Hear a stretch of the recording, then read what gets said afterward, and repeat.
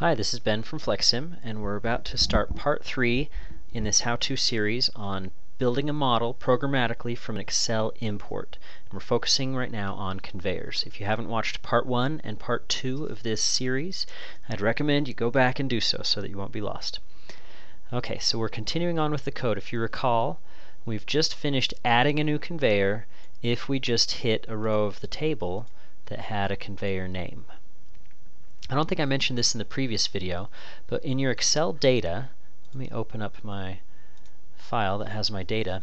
If this cell has any kind of text data, you know, any if it starts with any letter of the alphabet, then it will be imported as string data rather than numeric data. If it's blank, it'll just assume that's a zero numeric value. And you'll see that here in FlexSim's imported table, you can see all those blank cells that were in Excel are just assumed to be zeros.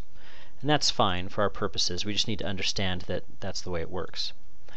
Okay, so we've created that new conveyor. Now we need to modify the sections so that the layout is what we have defined in our Excel file. So the important thing to note is that we've got this flag set. If it was a brand new conveyor that we just created, that new conveyor is created with a default section as the first section, and we just need to modify that existing section. So that's why we check to see if this is a new conveyor, go ahead and get a, a reference to that first section that already exists. If it's not a new conveyor, then we need to create a new section. And we do that by using the create copy command. We create a copy of the last section that was added to the conveyor. And we save the reference to that section, that new copy, as sec as well. So sec is either the first section of a new conveyor or a newly copied section of an existing conveyor. Either way, that's the section that we want to modify.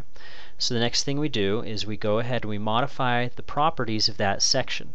Let's jump back to a tree and look at how a section is put together.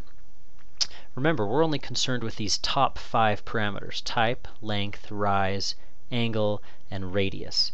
That's why we're modifying the first, second, third, fourth, and fifth nodes under that section. They are the ones that correspond to type, length, and so on. And then all we've got to do is get the values out of our conveyor info table for the type, length, rise, angle, and radius. We set those values in the tree. So we've just edited the section values and we're done. And then at that point we would loop back up to the top of the loop and we would run this logic for every row of the conveyor info global table. Sorry about that. Uh, when that's all done, just for good measure, we reset the model. We've just created new conveyors, we've changed their layout, just a good idea. Go ahead and reset the model back to a baseline, and that's it. So let's watch how this runs. Get all these windows out of the way. I'll delete this existing conveyor so that then we can watch exactly what happens. Alright, so jump into the script window and we'll call that command auto build conveyors from Excel and execute it. It should prompt me what do I want to import from Excel, which Excel file do I want to import into FlexSim. It'll do the import.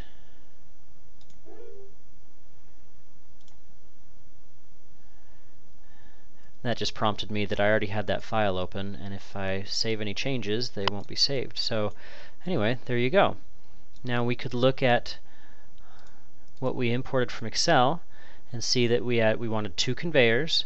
The first one would be a straight, a curve, and a straight, and the second one is just a straight and a straight with a rise and a fall. You can see that is what we got out of our Excel file. So thanks for taking the time to learn how to programmatically build a model from an Excel import. If you have any questions, go ahead and contact our support team. Thank you very much.